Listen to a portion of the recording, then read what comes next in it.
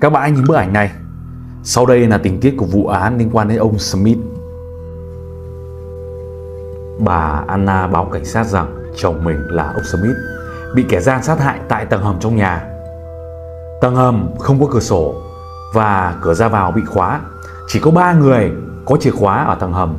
Đó chính là vợ ông, bà Anna, cô bảo mẫu và ông đầu bếp. Cảnh sát thẩm vấn họ để tìm ra manh mối. Người đầu bếp nói, tôi đang bận làm bữa tối. Khi nghe thấy tiếng bảo mẫu hét lên, ông vội chạy xuống tầng hầm, bật đèn lên thì thấy bảo mẫu và ông Smith. Bảo mẫu nói cô xuống tầng hầm lấy đồ, nhưng thấy ông chủ nằm trên vũng máu, cô sợ quá, hét lên.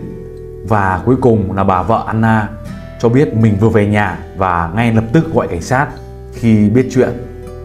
Vậy theo các bạn trong ba người này ai là thủ phạm?